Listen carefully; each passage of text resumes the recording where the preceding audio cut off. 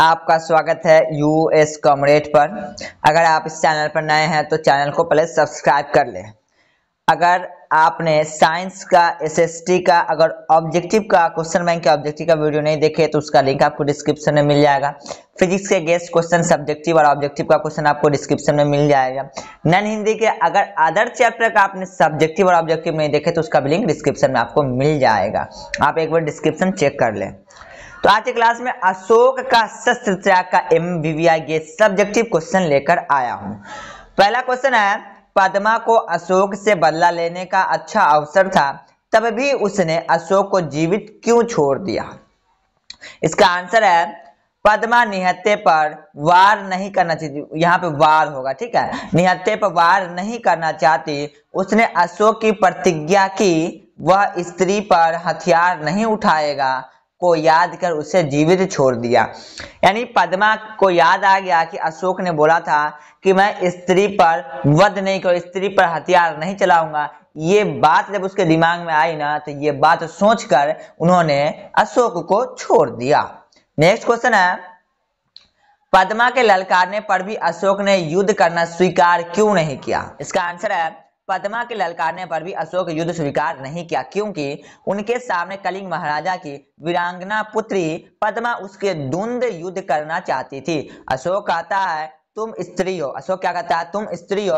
तुम्हारी सेना भी स्त्री है। मैं स्त्री पर शस्त्र नहीं चलाऊँगा। वे अपने सैनिकों को आदेश देता है। अपने शस्त्र नीचे फेंक दो। यानी पद्मा के ललकारने पर भी अशोक युद्ध स्वीकार नहीं करता है, क्योंकि वो कलिंग महाराजा की पुत्री है और उसका जो सैनिक जो थे ना, वो स्त्री था। क्या था? स्त्री था। यानी स्त्री थी। और उसकी सेना भी स्त्री थी। अशोक बोलता था कि मैं स्त्री पर शस्त्र नहीं चलाऊँगा। इसलिए अपने सैनिकों को आदेश दिया, अपने शस्त्र नीचे फेंक दो और युद्ध नहीं हुआ। ठीक है, इसे स्वीकार नहीं किया।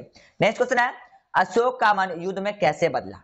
इसका आंसर है, कलिंग के महाराजा के मारे जाने और उसके उसके सेनापति की बंदी हो जाने के बाद युद्ध का नेतृत्व करने महाराजा की कन्या पद्मा आती है। यानी कलिंग के युद्ध में महाराजा के मरने के कलिंग के महाराजा को मारे जाने के बाद उसके सेनापति थे ना, उसको भी बंदी बना लिया। तब उसके बाद महाराजा की कन्या पद्मा आती है उस युद्ध को हैंडल करने के लिए, लीडर करने के लिए, ठीक है? अशोक अपने सामने स्त्री का सेना देखकर हथियार फेंक देते हैं। यानी पद्मा की जो सेना थी ना, वो स्त्रियों की थी, महिलाएँ की सेना थी। अब पद्मा युद्ध के लिए ललकारती तो अशोक कहते हैं कि शस्त्र स्त्रियों के युद्ध की इजाज़त नहीं देता है। यानी जब अशोक स्त्री को देखकर अपने सेना को आदेश देते हैं कि अपने हथियार नीचे फेंक दो तो पद्मा के युद्ध के लिए ललकारती है तो अशोक कहते हैं कि शस्त्र स्त्रियों से युद्ध करने की इजाज़त नहीं देता। तो पद्मा कहती है, क्या शास्त्र की आज्ञा है कि तुम निर, निरपराधियों की हत्या करो? निरपराधियों की हत्या करो? अशोक सिर झुका लेते हैं। अशोक सिर झुका लेते हैं। लाखों प्राणियों की हत्या से उसका मन पिघल जाता है और मन ही मन कभी युद्ध न करने का निर्णय लेते हैं। नेक्स्ट क्वेश्चन है, सैनिकों को उत्साहित करने के लिए पदमा ने क्या कहा? सैनिकों उसकी जो स्त्री की जो सेना थी, उसको लड़ने के लिए कैसे उत्साह मोटिवेट कैसे किया उसको, ठीक है? इसका उत्तर है अपने सैनिकों को उत्साहित करने के लिए, यानी पद्मा अपने सैनिकों को मोटिवेट करने के लिए, उत्साह भरने के लिए, जुनून भरने के लिए, राजकुमारी पद्मा ने अपने सैनिकों को संबोधित करते हुए कहा कि तुम वीर कन्या हो। क्या कहा? तुम वीर कन्या हो, वीर भगनी और वीर पत्नी हो, जिस सेना ने तुम्हारे पिता, भाई, पुत्र और पति की हत्या की है, आज उसी से तुम्हें लोहा लेना है। यानी पद्मा अपने सैनिक से कहती है कि तुम एक वीर कन्या हो। वीर कन्या वीर पत्नी हो। आज जिसने, जिस सेना ने तुम्हारे पिता का, तुम्हारे भाई का, तुम्हारे पुत्र का, तुम्हारे पिता, पति का हत्या क्या है, उससे बदला लेना, उससे क्या लेना है? उससे बदला लेना आज तुम्ही को, आज तुमसे उससे बदला लेना है, ठीक है?